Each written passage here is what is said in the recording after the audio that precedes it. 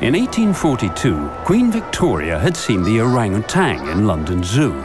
The orang-utan is too wonderful. He's frightfully and painfully, uh, oh, and uh, disagreeably human.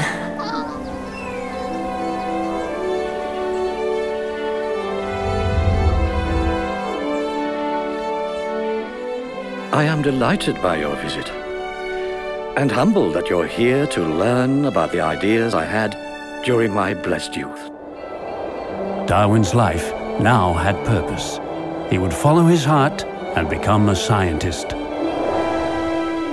The voyage of the Beagle has been by far the most important event in my life, and has determined my whole career.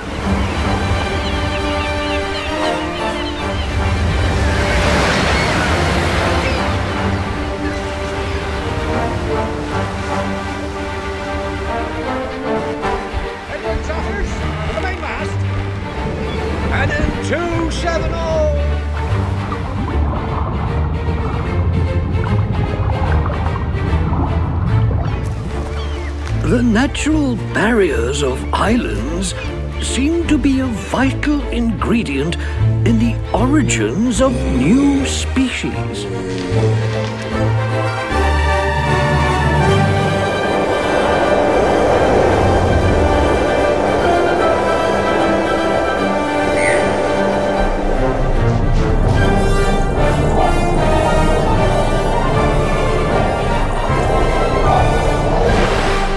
We must, however, acknowledge that man, with all his noble qualities, still bears in his bodily frame the indelible stamp of his lowly origin.